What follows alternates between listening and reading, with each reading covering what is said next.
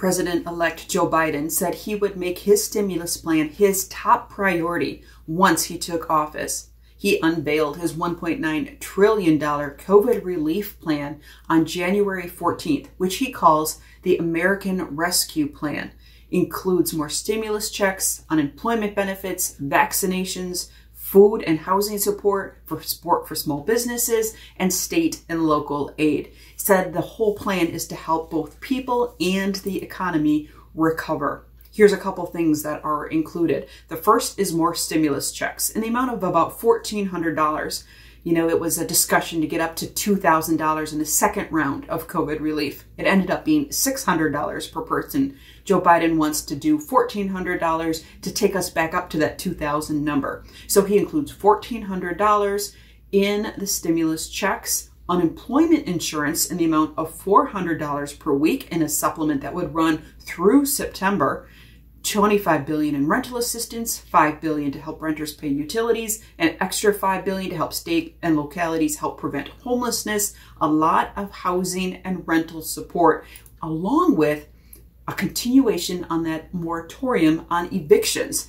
Right now, it is set to expire at the end of January. President elect Joe Biden said he would like that to go through the end of September.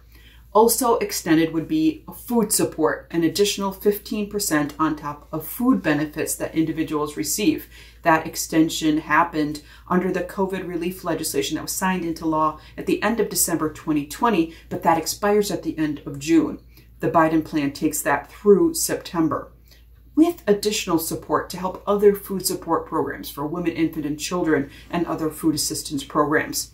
He would increase the minimum wage to $15 an hour, in addition to making other minimum wage program changes for uh, tipped based wages and sub minimum wage workers. He would also expand sick and family medical leave while also temporarily increasing some child care tax credits. He said he would call on Congress to help out in supporting people that have lost their job based health insurance to help subsidize the cost of some of those premiums while also increasing and expanding Affordable Care Act premium subsidies.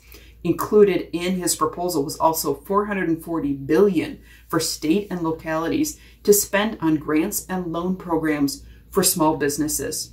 There's also a lot more support for states and localities. And part of that also goes to territorial governments. And these are emergency funds.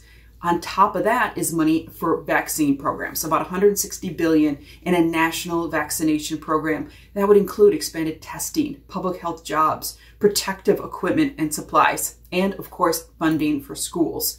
Biden said he is optimistic he can work with the U.S. Congress to get this legislation passed. And in his comments, he said, I know what we just described will not come cheaply $1.9 trillion, but failing to do so would cost us dearly. He continues, the consensus among leading economists is we simply cannot afford not to do it. He said, if we invest now, boldly, smartly, with an unwavering focus on American workers and families, we will strengthen our economy, reduce inequity, and put our nation's long term finances on a more sustainable course. You can read comments on this Biden proposal as well as the comments he made in his remarks on January 14th. We link to both of those in the description below.